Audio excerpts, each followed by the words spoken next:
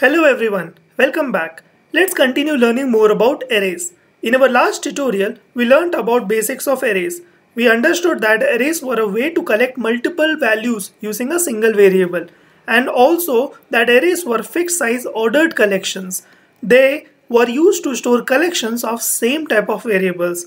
We learned that array indices start at 0 we also understood how to declare arrays. There were multiple ways to declare arrays, but one of the recommended way is to provide the data type followed by the brackets and then provide the name of the array. There is another way also which is not preferred where we provide the brackets after the reference name. We also learned how to create arrays and initialize arrays using some default values. So these were the arrays. Most programming language gives you a way to save sets of data in memory and they are usually called collections. In our last tutorial, we had seen about array declarations. In this tutorial, we will learn more about arrays. Now let's understand more nitty-gritties about arrays using some examples. Arrays are actually objects. By objects I mean arrays are stored in heap memory and not on stack memory. By objects, I also mean that arrays have some fields like length. We can use length field of array to find out the number of elements in an array. Also, accessing an invalid array index causes an exception. Let's see this in example. So here I have an integer array where I have initialized the array with 5 integers 1, 2, 3, 4 and 5. Now if I print the array 4 then I see the value 5 as the output. Note that array indices start at 0. So 1 has the index 0, 2 has the index 1, 3 has index 3, uh, 2, 4 has index 3 and 5 has index 4. Note that the fifth index doesn't exist. But if I provide here 5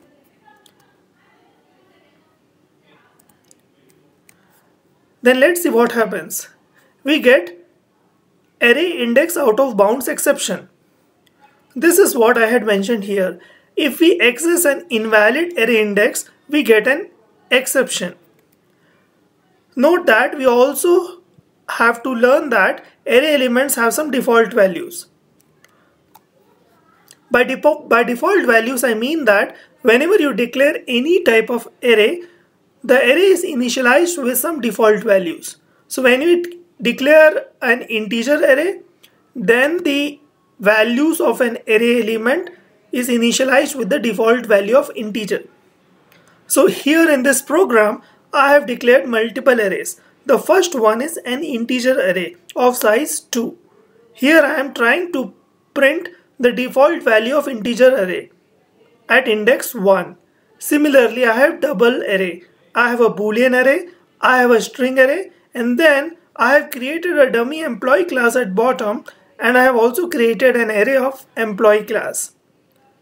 If I execute it, I will get five statements on the system out console which will tell me the default value of these array elements. Let's run this. You will understand that the default value of an integer array element is 0 the default value of a double array element is 0.0. The default value of boolean array is false. The default value of string array is null. Note that string is an object and an object is usually referenced by some value. Here array element is also acting like a reference and since the reference is not pointing to any valid object, the value is null. Default value of an object array is also null. So this is what we mentioned that array elements have default values.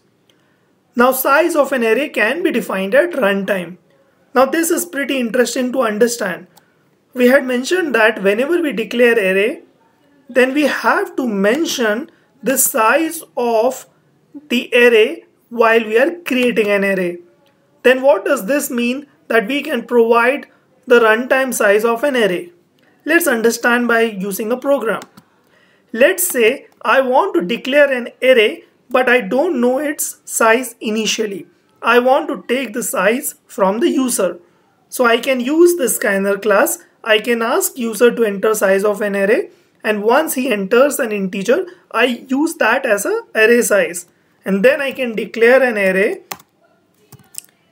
array is equal to new int and then I can provide this array size. Now this way I have declared an array and then then what I can do is I can say the size of array is array dot now when you put say array dot you see some fields available. One of the interesting field is length. As an array is an object and length is the valid field we can use this. And when we run this it will ask us the size of an array.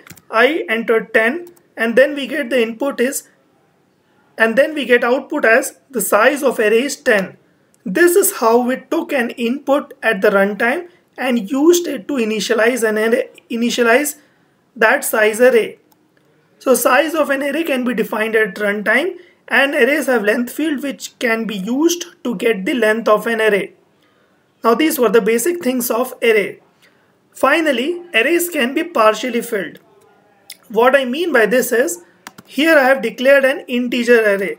Now this array is right now empty.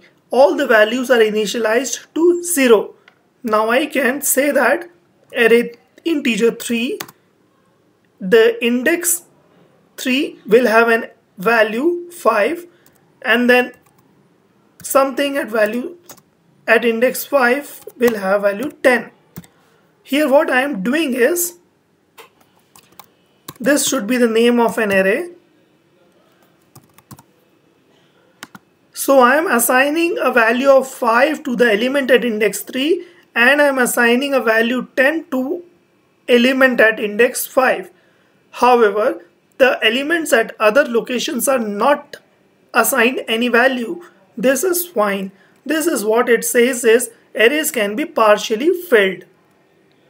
So in this tutorial we learned more about arrays. We learned about default values in arrays. We also learned about array index exceptions. In our next tutorial we are going to learn about more advanced features and more advanced collections to store elements. Goodbye.